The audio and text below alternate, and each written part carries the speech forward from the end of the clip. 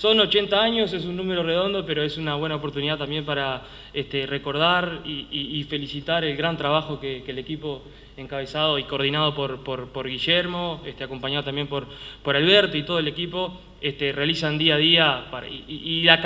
realmente lo puesta que tiene la, camiseta del museo. Este, el museo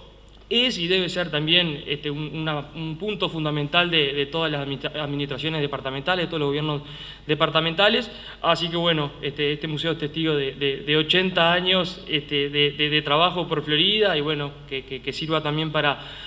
ver dónde estamos parados y, cómo proyectarnos hacia el futuro. Estamos haciendo entrega de un bandoneón que data de 1929, de fabricación alemana, del maestro Luis Maqueira, esta familia eh,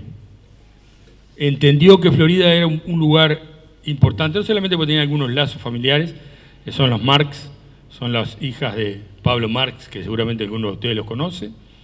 Este, entendió que había también un vínculo de amistad para hacerlo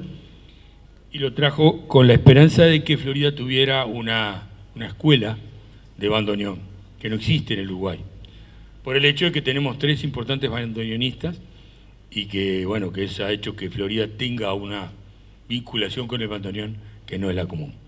El, instrumento fue llevado a un luthier que hizo su diagnóstico, su trabajo. No es un instrumento que esté en condiciones para la docencia,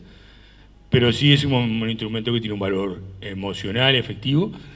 que además viene a enriquecer un acervo que el museo también tiene, que es de instrumentos musicales. Hay una colección de instrumentos, algunos de ellos que están relacionados con nuestra banda municipal y creo que algún día tal vez también podamos tener un, un acervo de música con referentes como este, a quien le vamos a hacer llegar el,